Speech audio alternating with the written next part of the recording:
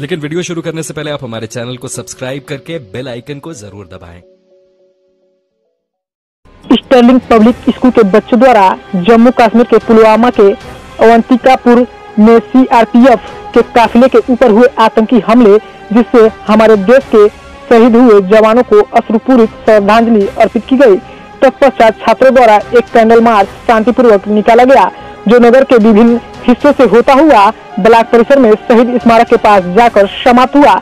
इस candle march में block प्रमुख बीडीओ निचलोल व ब्लॉक के अन्य कर्मचारी तथा विद्यालय परिवार से प्राचार्य श्रीमती कंचन चौरसिया, रवि सिंह, रजनीश दुबे, आलम, विनय, प्रदीप, सोनू, श्वेता सिंह, गुलब रुखसार, विनीता तथा अन्य स्टाफ मौजूद रहे। जनपद महाराजगंज के निचलोर से ब्रिजेश कुमार पांडे की रिपोर्ट।